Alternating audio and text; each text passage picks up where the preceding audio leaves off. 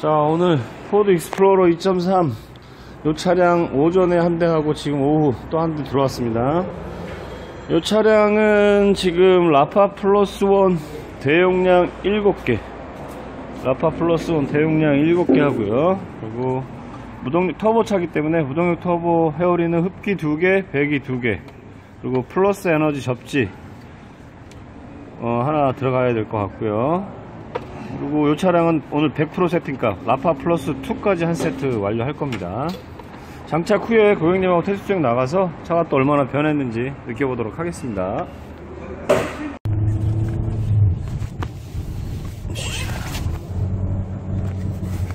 오늘 차량 포드 익스플로러 2.3 가솔린. 어, 17년식이고요. 키로수는 얼마나 뛰었죠 사장님? 4만 7천 정도 뛴 차량이고요. 오늘 익스플로러만 두 대째 왔네요. 어, 이거는 라파 플러스 대용량 7개. 플러스 어, 승용 차용 하나 그리고 플러스 에너지 접지 표준형 하나. 무동력 터보 회오리 흡기 2개 배기 2개 그리고 라파 플러스 2 one 세트까지 100% 세팅했습니다. 100%자 세수증 나왔고요. 여기 70km 하나 있고요 자 차량이 오늘 또 얼마나 바뀌었는지 고객님이 느끼시는 대로 이따 말씀을 해주시면 됩니다. 네. 지금 차간거리 가까워지면 엑셀 100% 떼어보세요. 속도 안 주고 차가 계속 밀고 나갈 거예요. 그죠? 네. 네. 있죠. 그러니까 그거를 많이 이용하시면 연비가 좋아진다는 얘기예요. 네. 저기 빨간불이잖아요. 근데 지금 한 뭐 70km 이상일 때 좋거든요. 엑셀 띄고 가셔도 돼요 근데 지금 속도가 저속일 때 뛰면은 조금 더 빨리 줄고 그래도 거의 많이 안 줄을 거예요. 그리고 80km 이상 때 뛰면은 속도가 천천히 죽습니다. 그런 걸 이용하시면 연비는 좋아진다는 얘기예요. 탄력적인 거리가 그만큼 늘어났으니까 항속주행 거리가 늘어나면.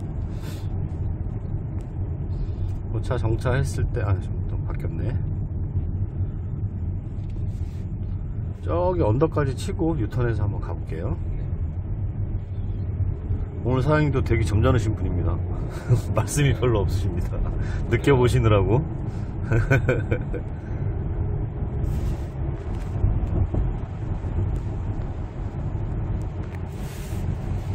변속이 네. 이게 저, 저번 들으니까 이 2까지 올라가잖아요. 네네 예, 원래 변속할 때 한 2.3까지 올라가잖아요. 네네 그러니까 이거는 똑같이 올라가는 것 같은데. 아 그래요? 예.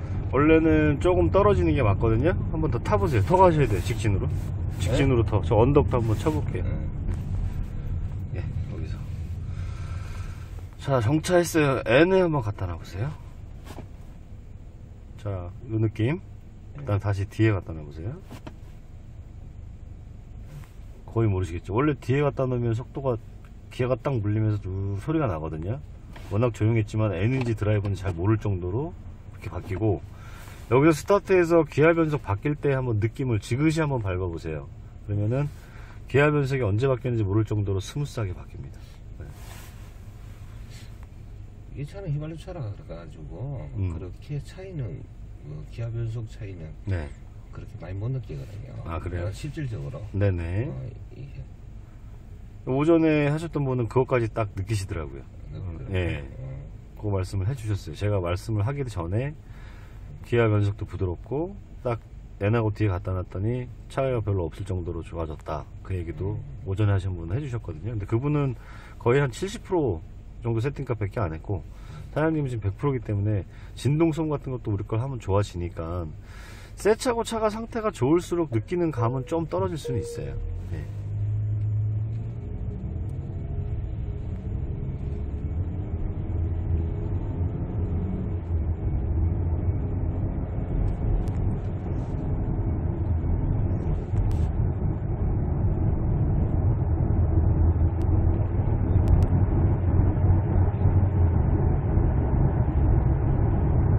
어, 조금 나은 그래. 네. 아니 좀 오늘 한 60, 70% 좋아지고요 나머지 3, 40%가 또 10일 동안 타면서 또 좋아지고 고속 주행 한번 장거리 주행 한번 하고 뭐 차가 또 이상하게 더 좋아졌다 가벼워졌다 이런 말씀들 하시니까 그런 건 천천히 한번 느껴보시고 이런 언덕 올라갈 때 전에보다 엑셀을 덜 밟아도 약간 힘을 쓰는 것 같은지 그런 거를 다 느끼시면 타보시면 돼요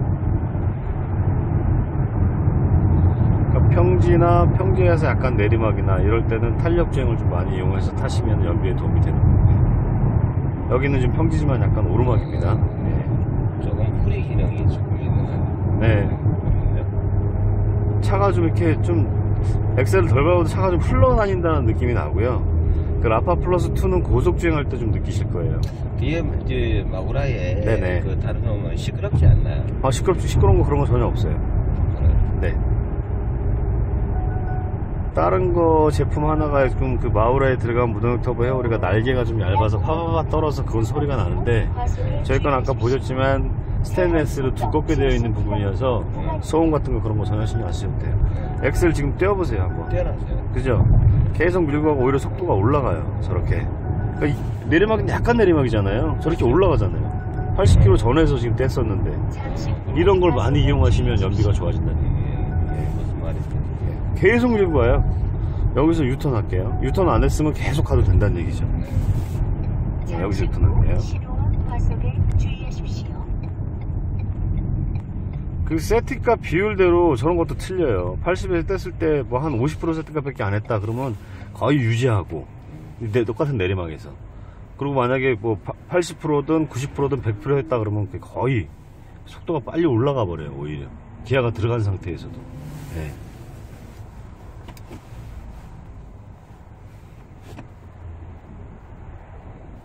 지금 사장님이 이런 거를 우리가 장착하기 전에 해보셨는지 모르겠지만 분명히 좋아져요 그러니까 지금 제가 느낄 때 저도 되게 민감한 놈인데 음. N이나 D나 지금 차이가 거의 없어요.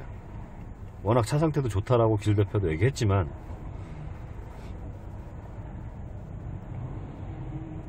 (100% 세팅값) 오자마자 하시는 분들 몇 분 없습니다 한 70% 하고 또 효과 본 다음에 더 업그레이드 하고 막 이런 식으로 많이 하세요 사실은 100% 했지만 여기서 달면 달면 더 달수록 더 좋아져요 그거는 이제 CC 있지 않습니까 차량 CC에 따라서 퍼- 퍼센트 비율이 틀려질 수는 있잖아요. 똑같이 달아도. 전방에 연소로 과속 방해. 한번 그냥 지그시 쭉 밟아보세요. 오르막인데 얼마나 힘을 쓰는 게 틀린지 전에하고. 기아 변속이 좀 빨리 이루어져요. 기아 변속이. 사장님 보니까 밟으실 때 좀 밟고 다니실 것 같은데. 네, 밟아. 예, 오르막에도 엑셀 떼어보세요. 어, 됐어. 예. 그래도 달기 전보다는 계속 오르막이라도 칩니다. 이게 계속 이게 갈려갈라 그러는 느낌이 날 거예요. 그리고 고속에서는 예를 들어서 160, 180, 180 정도 밟으면 차가 좀 떨리는 감이 있다 이런 게 느꼈을 때 우리 거 달고 라파 2를 달면은 180 돼도 차가 도로하고 바퀴가 딱 붙은 것처럼 쫙 깔려서 가요. 고속 주행할 때 라파 플러스 2가 그런 역할을 해요. 예.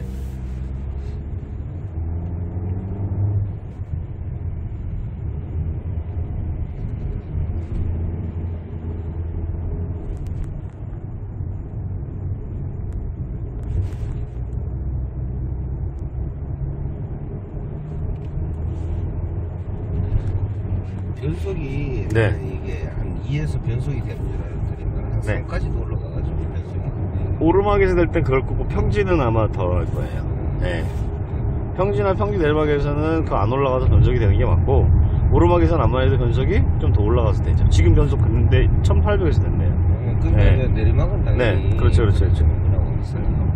네. 근데 언덕에서 음. 나한 2에서 변속이 되는 줄 알았거든요 음, 근데 3까지 올라가니까 아까 제 오전에 어떤 익스플로러인데 그것까지는 내가 계산을 안 해봤네요. 음. 저 그걸 못 봤네. 네. 그러니까 이게 그 언덕에 올라갈 때 그, 내가 유튜브로 보니까 한 2까지 떨어진다고 다들 그래요. 2에서 변속이 된다고 난 들었는데 네네. 3까지 올라가가지고 변속이 되니까 그게 아마 또 CC에도 차이가 좀 있긴 있을 거예요. CC에서 네, CC에서도 차이가 있을 거예요. 아마 사장님 본 유튜브 영상에는 2000cc가 안 되는 것들이 그랬을 가능성이 높고요. 제한 속도 70km. 똑같은 차종이라도 또 그런 것도 약간 차이가 있을 때가 있어요.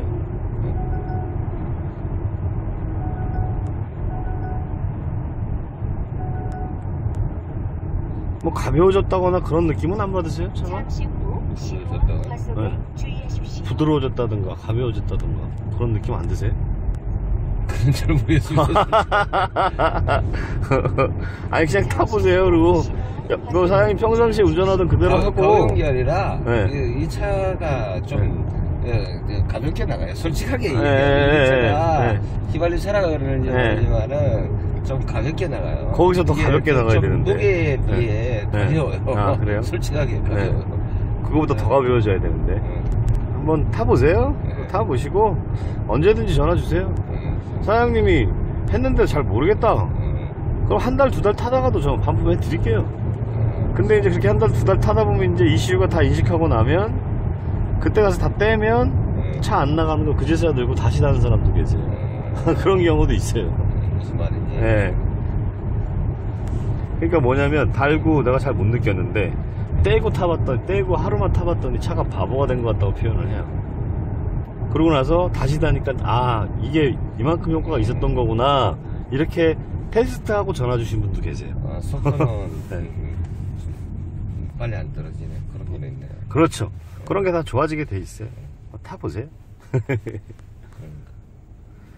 이게 뭐 지금 타고 잠깐 이렇게 운전해서 이슈가 다 인식하기는 어렵고요. 네.